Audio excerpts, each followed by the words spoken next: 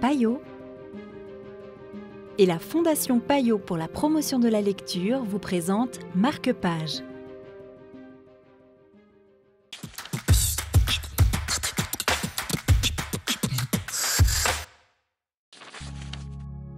Bonjour et bienvenue dans Marque-Page. Aujourd'hui, nous vous présentons Monsieur Apothéose de Julien Fray aux éditions Vent d'Ouest. Une proposition de Victor Borghi de Payot Libraire, ici à Genève.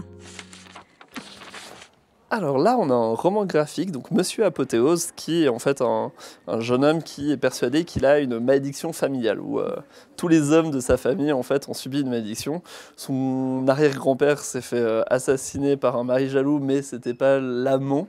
Euh, son grand-père, il a involontairement tué le maire du village, et ainsi de suite. En fait, tout le monde dans sa famille a fait pas mal d'erreurs, et donc lui n'ose rien faire parce qu'il a peur en fait de subir cette malédiction, comme tous les hommes de sa famille.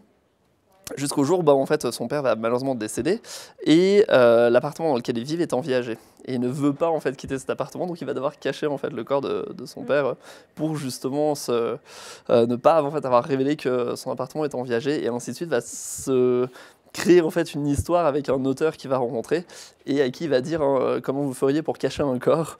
Et, euh, et, en fait, on va un peu de. C'est autant comique et un petit peu tragique dans, l'histoire de ce, cet homme qui veut pas avancer dans sa vie et qui, avec euh, des aventures un peu rocambolesques en fait, qui va vivre avec cet auteur. C'est vraiment très très chouette. Euh, on a quelque chose de doux oh. et, et, en même temps un peu ouais, un peu tragique euh, dans, dans ce qu'il vit. On est dans quel style? Un style drôle, percutant, décalé? Décalé. Je dirais, il y a des moments où on va rire aux éclats parce que enfin, là, il y a une phrase qui va sortir de nulle part, mhm. euh, alors que le moment est tragique, justement. Et puis en fait, ils vont s'intéresser à quelque chose qui est pas du tout, euh, qui est presque aucun rapport avec la situation, et c'est assez drôle pour ça. Et en même temps, c'est assez doux, comme le dessin aide beaucoup en fait pour ça. Mhm. Merci beaucoup. Je vous en prie. merci. Avec vos trucs de développement personnel, vous pouvez vraiment transformer mon plus bel échec en belle réussite. C'était Monsieur Apothéose pour Marcopage.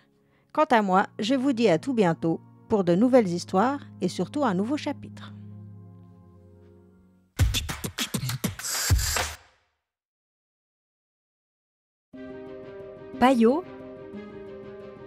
Et la Fondation Payot pour la promotion de la lecture vous ont présenté Marque-Page